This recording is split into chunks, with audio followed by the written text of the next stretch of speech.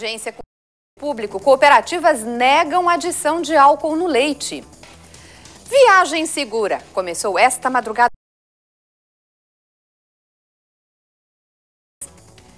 Tem mais uma edição do Festival. O evento deve atrair mais de 200 mil pessoas à região. Este é o Jornal da TVE que já está no ar.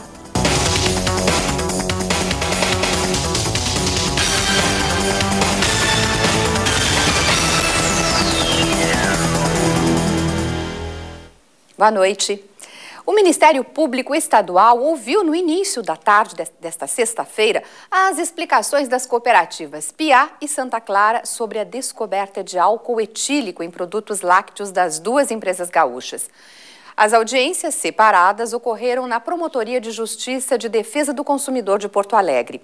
Fiscalizações rotineiras realizadas pelo Ministério da Agricultura em amostras de leite cru constataram a adição de álcool em lotes de leite e requeijão. Os resultados desses exames são contestados pelas duas cooperativas. O álcool etílico no leite foi detectado em fiscalização de rotina do Ministério da Agricultura. Para o Ministério Público, as duas cooperativas voltaram a garantir que cumprem as normas de controle de qualidade. Empresas prestaram algumas informações preliminares, até pelo episódio né, recente, foi concedido mais um prazo de 20 dias agora para que é, algumas questões que de, dependiam ainda de consultas aos, às planilhas das empresas vão ser reportadas neste prazo e posteriormente vamos designar uma nova audiência com ambas. A cooperativa PIA mostrou os laudos de dois laboratórios externos credenciados pelo Ministério da Agricultura para comprovar que não há anormalidade nos lotes sob suspeita de potes de requeijão light e de leite UHT integral. Essa semana toda de tanta assim é, é, comentários, discussões sobre o assunto, nós temos hoje um laudo oficial dos lotes citados de, de laboratórios credenciados, foi colocado também no Ministério Público, que der, não deram nenhuma irregularidade em relação a tudo que se comentou. Isso é o grande fator positivo. Da cooperativa Santa Clara, os 1.700 litros de leite com suspeita de conter álcool etílico eram de saquinho, mas com prazo de validade curto já foi consumido. Santa Clara está muito segura daquilo que faz, pois tem certeza daquilo que realiza. Pelos seus 102 anos de história, 102 anos de credibilidade, e nós podemos estar demonstrando aqui para o promotor toda a nossa história, toda a nossa cuida todo o nosso cuidado com aquilo que nós produzimos, com os testes que nós realizamos, com os mais de 6 mil testes por dia que a Santa Clara realiza em seus produtos. Ocorreu hoje a primeira reunião da comissão que pretende buscar alternativas para a desocupação de áreas públicas ou privadas urbanas aqui no estado. Uma petição vai ser enviada à Justiça para solicitar um prazo de 90 dias para a desocupação de área na Avenida Cavalhada, em Porto Alegre. Em 2012, o Rio Grande do Sul reduziu em 17% o déficit habitacional no estado. Foi criado hoje pela Secretaria Estadual de Habitação e Saneamento um grupo de trabalho para discutir as desocupações de áreas públicas e privadas no Rio Grande do Sul. No caso do terreno da Vipal, em Porto Alegre, a Procuradoria-Geral do Estado encaminhou petição solicitando mais 90 dias para a reintegração de posse, que está prevista para a próxima terça-feira. A ideia aqui, em geral, é a gente estudar situações de conflito que existem né, e encontrar soluções para, para todos os casos, né, encaminhar isso de uma maneira que nós possamos preservar o direito à moradia e também preservar o direito à propriedade daqueles que são donos das áreas de terra. Né? Então, esse é o sentido que nós estamos fazendo. Começamos aqui com, discutindo com maior ênfase a questão da ocupação da Vipal né, que é o mais grave. A Defensoria Pública do Estado também busca maior prazo e salienta que as famílias estão em situação de vulnerabilidade. A Defensoria Pública tem a postura de proteção dessas famílias que são, a princípio, vulneráveis, claro, sem uh, uh, desprestigiar o direito à moradia. No entanto, essas famílias, elas estavam inseridas algumas em programas habitacionais, então nós temos que dar oportunidade a elas de receber a sua demanda. A 31ª edição da Operação Viagem Segura começou na madrugada desta sexta-feira. O final de semana do Dia dos Pais é o segundo mais violento do ano, ficando atrás apenas do final de semana do Dia das Mães.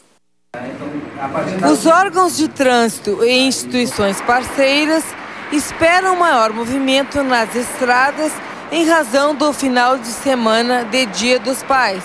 Em novembro de 2011, a primeira edição da Operação Viagem Segura, nós espelhamos eh, ela no Balada Segura, procurando desenvolver uma ação integrada e contínua entre os órgãos de trânsito para uh, executar a fiscalização uh, durante os feriados prolongados nas rodovias do estado, para que a gente pudesse reduzir a acidentalidade, porque ela se mostrava com índices muito acima dos finais de semana normais. O diretor orienta os motoristas quanto aos cuidados a serem observados nas viagens. Não exceder o limite de velocidade, respeitar a sinalização, cumprindo as velocidades, não executar ultrapassagem em locais proibidos e mesmo nos locais permitidos, fazê-la somente quando o condutor tiver segurança para fazer isso. Uso dos equipamentos obrigatórios, cinto de segurança, inclusive nos bancos traseiros, é, capacete com a viseira baixada para os motociclistas, é, não dirigir falando ao celular, ingestão de bebida alcoólica nem antes nem durante a viagem, só depois que estiver descansando. Então, são as recomendações que a gente faz. Além da manutenção do veículo adequada, ver se os pneus estão em dia, calibrados, é, com balanceamento em dia, a geometria do veículo em dia. E no momento, o trânsito na saída de Porto Alegre é intenso, tanto em direção ao litoral quanto à serra.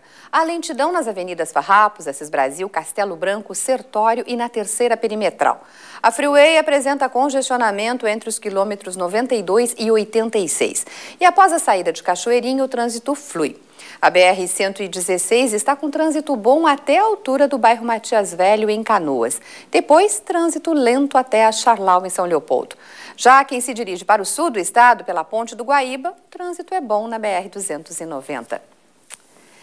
Nevoeiro na serra, geada na campanha, frio em todo o estado. Foi assim o começo desta sexta-feira. Às 6 horas da manhã, a sensação térmica era de 1 grau negativo em Bagé.